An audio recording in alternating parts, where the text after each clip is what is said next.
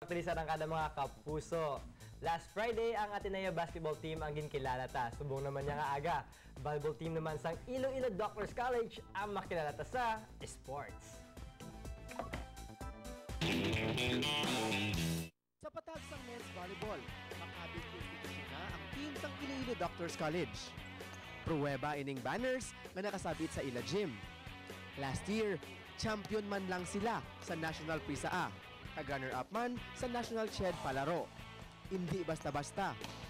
Dali, kilalahon ta ang mga miyembro sang IDC Men's Volleyball Team. Good morning mga kapuso. Ako gali si Miltro Kasipi. Dating captain o volleyball men IDC.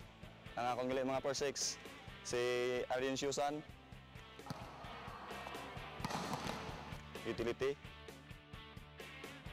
Dari Celeste. Opener. Jose Pirasol. Opener. Donny Bilisa. Sitter. Anderson Ocampo.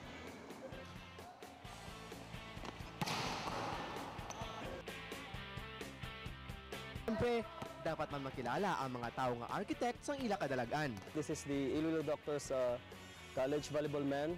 Uh, right beside me is assistant coach uh, Coach Jeb Santos, and behind me is uh, uh, the team of the Iloilo Doctors College.